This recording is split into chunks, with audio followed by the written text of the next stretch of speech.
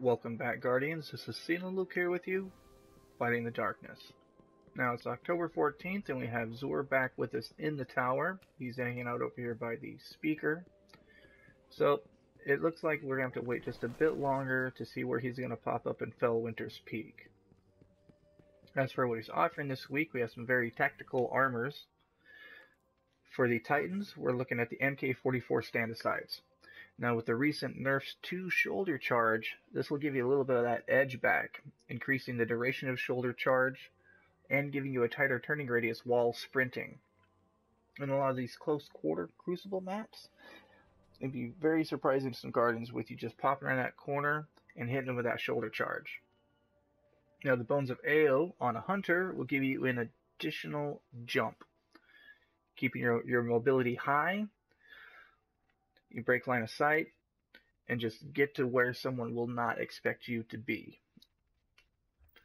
And be very good for avoiding those shoulder charges. Now the Sunbreakers for the Warlocks will increase the duration of your solar grenade and give you an additional solar grenade charge. So additional grenades are always good, and the length of time that the solar grenade will just sit there burning can help close off areas of maps in PvP and PvE.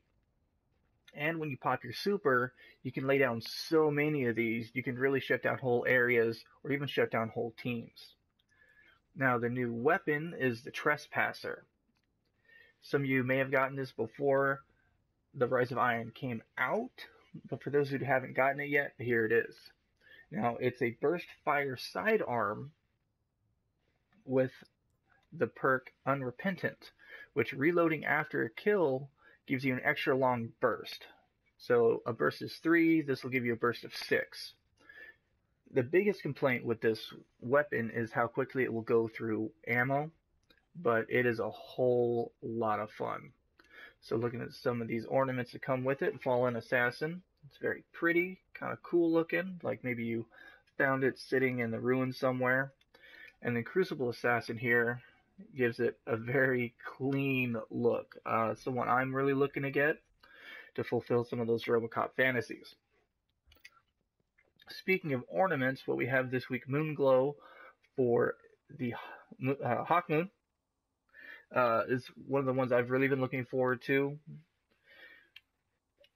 And then Storm's Reproach for the Invective makes it look like you just pulled it out of a volcano. And of course, we have our three of coins, which you never want to forget to get some of these exotics so you don't have to wait for Xur to be selling them. Couple of drives here.